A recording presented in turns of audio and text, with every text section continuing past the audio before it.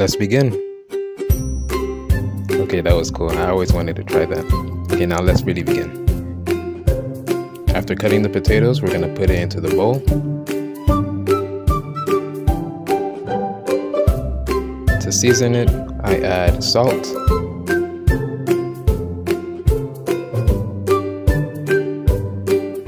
some onion powder, garlic powder, nutritional yeast flakes. I actually like a lot of it. Dried basil leaves,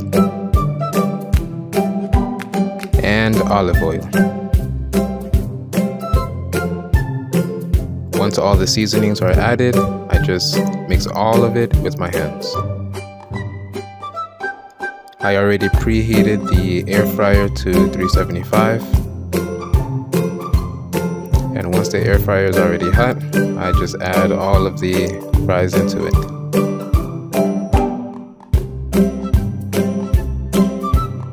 I leave it in there for 10 minutes.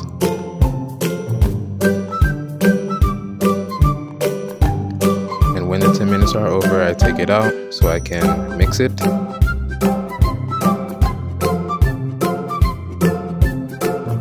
And then I put it in for another 5 minutes. I keep doing this until the fries are soft and also I have an outer toast to it. And then it will look something like this. Time to enjoy.